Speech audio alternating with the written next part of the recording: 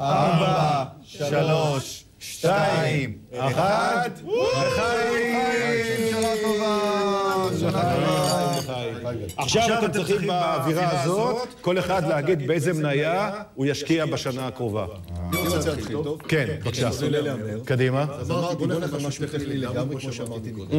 משהו שיורד מ-100 ל-30, חברה כלכלית בירושלים. אם תעלה ל-30 ל-40, 33 אחוז, הולך על הימור טכני. פישמן, אם הוא רואה, הוא מרוצה מאוד. ליאת? רוצה, כן. אני הולכת למזרחי טפחות. הבנק תשואה להון בצורה הכי יפה והכי טובה, יש הרבה משכנתאות, מכיוון שאני לא צופה שהדיור ירד, אלא רק יעלה, נדמה לי שזאת המניה להשקיע בה.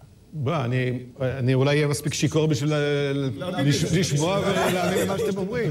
אלכס, חשבת על משהו? אני חשבתי על טבע, היה לה מנהלים כל כך מחורבנים, כל כך הרבה זמן, שעצם זה שהיא הורידה את המשקולת הזאת מעצמה, אני חושב שזה נותן לה איזושהי תקווה. אלדד? כן, אני הלכתי על אה, מניה קצת אה, אני גם מעבר הלכתי, אני לים. הלכתי חזרה למקום שלי. אתה אוקיי. מניה מעבר לים בשם גיליאד. אני בין המאמינים הגדולים שתעשיית הביוטק לפני פריצה ענקית בחיים של כולנו, פיתוחים שלמים בחברה הספציפית הזאת, פיתוחים מדהימים בתחום הכבד, מחלות כבד, הפטיטיס C ואחרות, תרופות נגד סרטן. אחת החברות הגדולות, ויש לה גם שרשרת גדולה של הכנסות מן העבר, גם תרופות שמתחילות ממש עכשיו חדשות, וגם פיתוחים עתידיים מאוד מבטיחים. אה, חברה במכפיל יחסית נמוך. קנינו! רגע, מרוויחה 2.7 מיליארד דולר ברבעון, זה הרווח, וצומחת יפה.